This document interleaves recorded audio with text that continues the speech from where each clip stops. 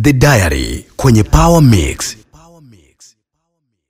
Hii ni The Diary kwenye Power Mix.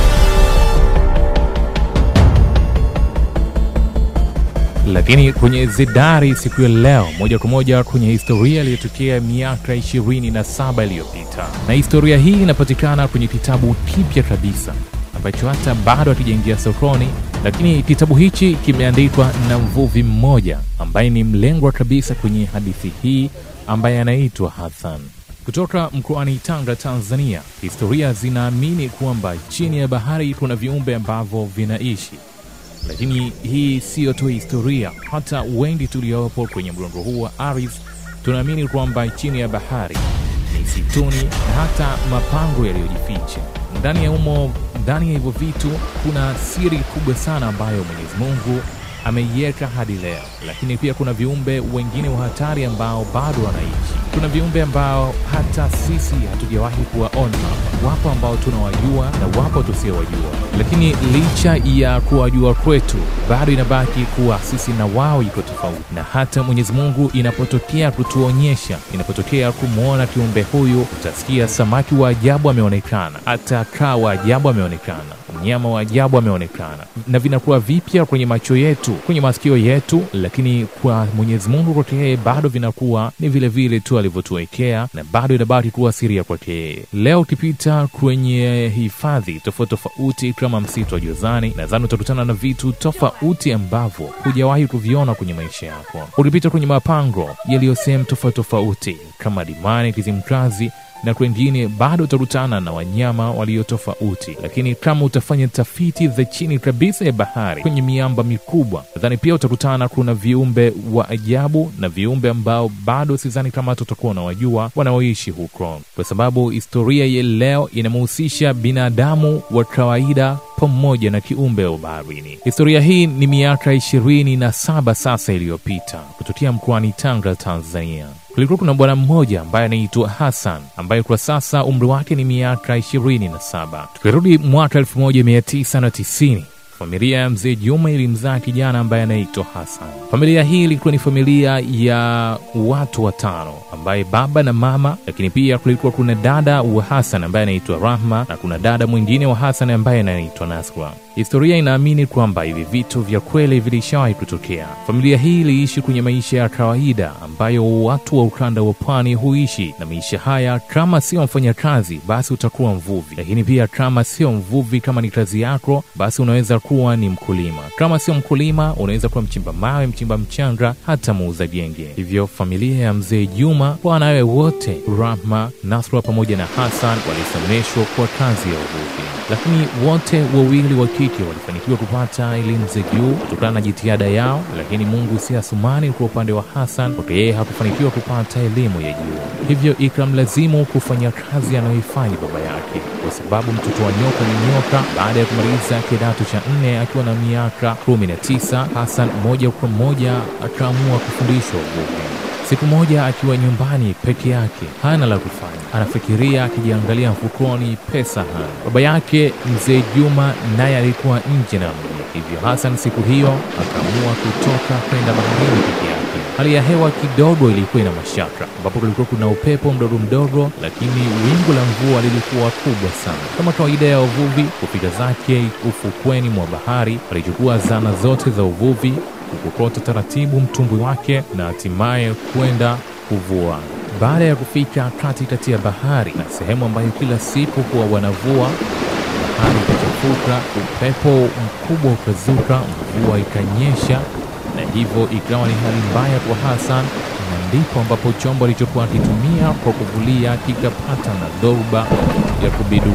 Hassan aliogelea vya kutosha kupambana na hali ile, lakini mwisho wa siku alipoteza fahamu kwa ule wakati. Baada ya kupoteza fahamu, alitumia masaa matano mpaka masaa sita kuwa kwenye bahari, ndipo ambapo alipookolewa na kiumbe cha ajabu. Kiumbe hichi wengi tunakifahamu kwa jina la nguva. Nguva ni aina ya samaki ambaye nusu binadamu nusu nguva, lakini hakuwa tu nguva peke yake. Baadaye utakuja kufahamu mamwisho kabisa wa hadithi pamoja na historia hii, utakuja kufahamu kwamba alikuwa ni nguva namna gani na alikuwa ni nguva kweli au la. Alipozindukana Hasan alishangazwa na kuuliza maswali mengi sana. Alipozindukana Hasan alishangazwa kuwa ni sehemu gani aliyopo. Swali la kwanza aliloulizwa, sauti inatokea wapi, kabla kugeuka ni aliulizwa tu kwamba uko salama. Hasan kwa hofu kubwa kugeuka kumtazama aliyemuuliza. Alikuwa ni binti mrembo ambaye hajawahi kutokea. Akimwangalia macho yake ni macho yenye green na gold lakini pia akimwangalia sura yake ni sura ambayo ya kuvutia, au muda mwingine unaweza kusema ni sura lichotara. Pua ya msichana huyo ilikuwa ni pua ya kuvutia, lakini pia ilikuwa na lipsi pana. Aliendelea kumkagua sehemu moja na sehemu nyingine, ndipo ambapo alipomkagua miguuni, lakini alimkuta alikuwa na mkia wa samaki. Hasan, swali la pili alilouliza kabla ya kujibu kwamba yuko salama au la, aliuliza wewe ni nani? Kwa hofu kubwa aliyokuwa nayo, Hasan alijibiwa kwamba mimi ni binadamu kama wewe, lakini bado nabaki kuwa kuwa sio kiumbe wa kawaida.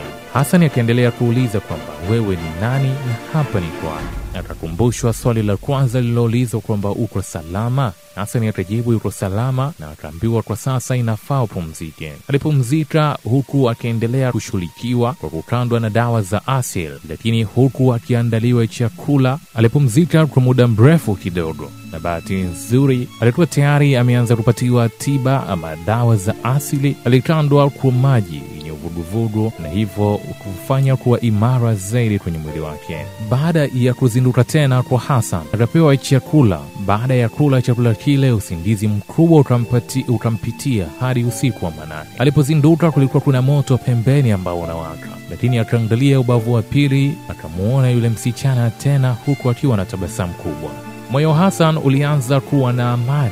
Moyo wa Hasan ulianza kuwa na faraja kidogo. Baada ya pale, akaulizwa kwa sasa unajisikiaje? Kujitagua viungo vyake, Hasan akaviona kabisa viungo vyake viko salama. Hapo ndipo Hasan akanyenyuka na baada ya kunyenyuka akaiona yuko sawa kabisa, maumivu yote yalimwondoka mwilini mwake. Yule binti akakaa naye kitako. Hasan akakaa kimya kwa muda kama dakika kumi na kuanza kumuuliza yule binti ni nani haswa, na kuanzia hapa ndipo ambapo ninaponukuu, kuanzia hapa ndipo ambapo ninanukuu maneno yaliyokuwemo na yaliyoandikwa kwenye kitabu hichi. Hasan alimu, nikimnukuu Hasan anasema kwenye kitabu hichi, nilimuuliza binti ni nani haswa. Binti alinijibu kwamba yeye si kiumbe wa kawaida, lakini bado ana roho ya kibinadamu kama niliyokuwa nayo mimi. Alichonisihi binti yule, aliniambia kwamba mimi ni binadamu wa pekee sana nina imani, nina upendo, lakini pia nina huruma ya juu. Nilikuwa kama binadamu wengine ama wavuvi wengine, tayari ningesha kuwa nimemuua, lakini kwa hivyo kwa moyo wangu wa imani, hisani yangu iliokuwa nayo, na ndiyo maana aliamua kuyafanya yote haya. Kutokea hapo nilianza kuvutiwa sana na yule nguvu, zilikuwa zikinjia hisia na nikienda mbali zaidi, lakini bado nilikuwa nafikiria kwamba familia yangu mpaka kwa sasa inanifikiria niko wapi, familia yangu mpaka kwa sasa inaamini niko wapi, familia yangu mpaka kwa sasa inajua nini kuhusu mimi. Hivyo niliendelea kumuuliza yule binti kwamba hii ni sehemu, ni sehemu hipi Kwa kunitoa wasiwasi, aliniambia kwamba niamini niko sehemu salama na ni sehemu ambayo haitoweza kufika binadamu wa aina yoyote. Lakini pia nikamuuliza vipi kuhusu miguu, akaniambia kwamba anaweza kuwa na miguu kwa muda wa masaa 48 mpaka masaa 120, lakini pia anaweza kuwa kwa hali ile kwa maisha yote. Hivyo ni kuchagua vipi anataka kuishi. Badala ya hapo, nikaendelea kuishi kwenye maisha ambayo bado sijajua niko wapi, lakini kwenye kuishi huku, mbona moyo wangu kama una furaha? Mbona kama moyo wangu una amani? Mbona kama moyo wangu unasahau yale yote ya dunia ile kule nyingine ambayo niliyoyaacha? Hii ni kwa nini? Hivyo baada ya kucha kule, tulitoka ile sehemu tulio. Ukweli ni kwamba kama ni sehemu ambayo inapatikana kwenye ulimwengu wa kawaida, tulitoka na yule binti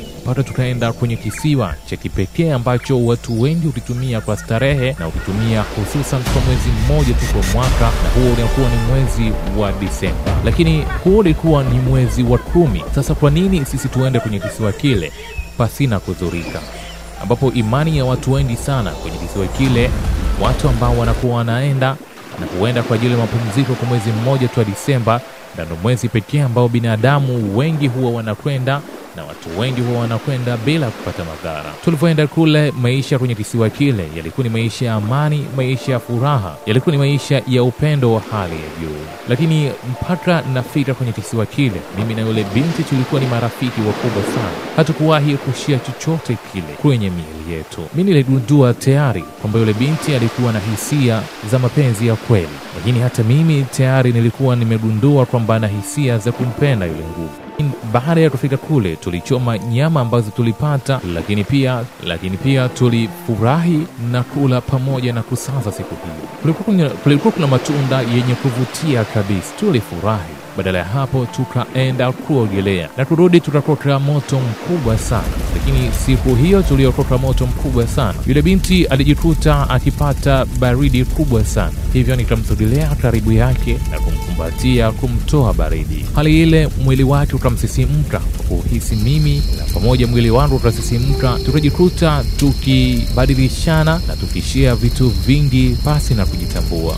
Kila mmoja hali yake kwa muda huo alikuwa anaijua mwenyewe, lakini kila mmoja hali kwa muda huo ilikuwa ni hali ambayo iliyojawa na hisia za hali ya juu, hivyo tutajikuta tumekuwa wapenzi tu wa mara moja. Cha ajabu zaidi, binti yule aliniambia kwamba nisijali chochote kuhusu yeye, na nikawa namuuliza kama leo umebadilika, umekuwa na miguu kwa muda huu mpaka kwa sasa ni masaa kadhaa, vipi itapofika masaa arobaini na nane au yazapotimu masaa mia moja na ishirini ina maana bado utarudi kwenye hali yako ya kawaida? Binti yule akaniambia ndo ule muda sasa.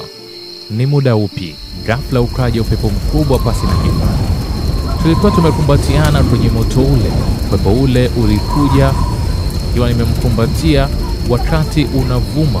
Moto ulikuwa mkubwa sana, na hatimaye moto ule ukazimika ghafla kwa upepo ule, na baada yake, baada ya kuisha upepo, cha ajabu zaidi nitajikuta niko peke yangu, kwa sababu ulikuwa ni usiku mkubwa sana. Asubuhi yake nikaamka kwenye kisiwa kile na kujikuta niko peke yangu. Nilipiga kelele nyingi sana nikimwita Samira yuko wapi, nikimtafuta Samira yuko wapi. Nilijaribu kukaa kwenye maji kwa muda kumwangalia, labda atakuja kutokea, lakini hakukuwa na majibu. Hivyo nilipanda kwenye jabali kubwa sana ambalo niliona jahazi kubwa la wavuvi ambalo kuwa linapita maeneo yale na kupigia makelele.